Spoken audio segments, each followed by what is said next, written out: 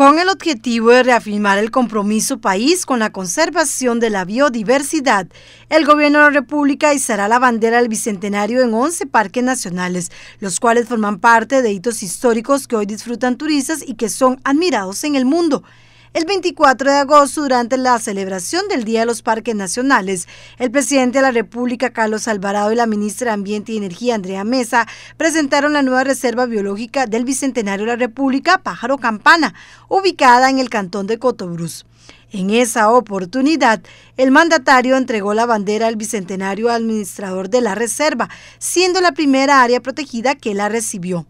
Posteriormente, el 15 de septiembre fue izada en los parques nacionales Volcán Irazú y Chirripó, en este último en manos del montañista Warner Rojas, quien ascendió y descendió el Cerro Chirripó. Ahora serán otras áreas, entre ellas el refugio de vida silvestre de Golfito en la zona sur.